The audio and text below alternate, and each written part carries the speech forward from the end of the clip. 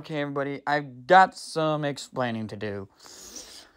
There was an oopsie. There was an oopsie, and I made an oopsie by mistake.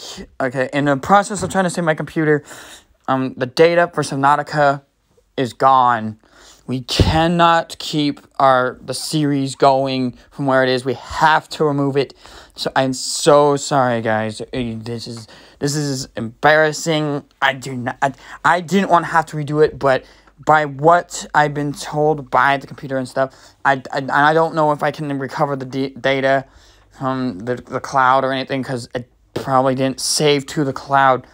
So we have to completely redo the entire series from scratch. I am so sorry to everybody, to the four people who liked the second episode and the three people who liked the, the first episode of Subnautica. We have to completely redo it. I'm so sorry to all of you, and especially to, and I'm very, very sorry to those who um, uh, who who gave me those likes and appre- and I really appreciate y'all for doing that. And if you could do it again for this complete redo of the series, I would really appreciate that because now we have to go and delete every last episode of Subnautica, all 28 episodes that were done just to be able to continue the series mm, where, where it is.